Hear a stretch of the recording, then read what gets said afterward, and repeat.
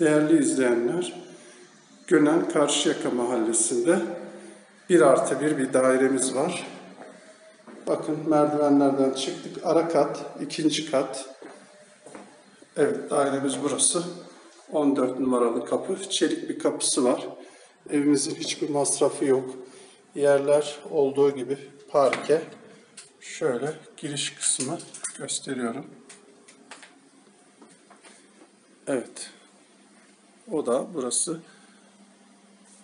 Yerler parke. Hemen burada da ufak bir oda var.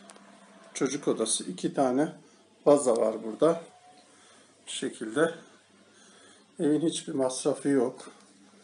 Evet burası da balkon kısmını böyle kapatmış. Buraya çamaşır makinesi koymuş. Mikrodalga fırın koymuş. Böyle güzel bir kullanım alanı yapmış. Pimapenler hepsi yeni. Bakın. Pimapenler. Aşağısı bahçe. Evet. Bu şekilde uydusu var. Evet. Burası da arka tarafında da tuvalet banyo var. Şimdi orayı göstereceğim. Güneye cepheli yerimiz. Güney cepheli.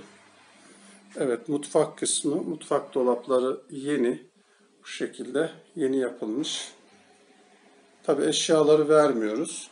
Sadece evimiz boş bir şekilde verilecek. Alafranga tuvaleti. Burası duşakabini. Burada lavabosu var. El yıkama yeri. Burada da termosifon var. Sıcak suyu. Banyoya, mutfağa sıcak su buradan geliyor. Evimiz tertemiz görüldüğü gibi. Evet. 1 artı 1. 45 metrekare. Ara kat. Güney cephe. Ee, bu daire Kaya Emlak Şaban Kaya tarafından satılacak. Evet. Karşıda bir bina daha var. Aşağısı bahçe.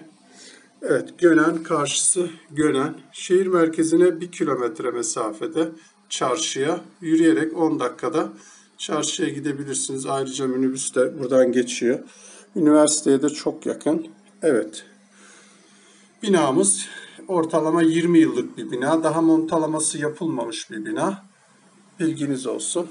Evet yerimiz burası.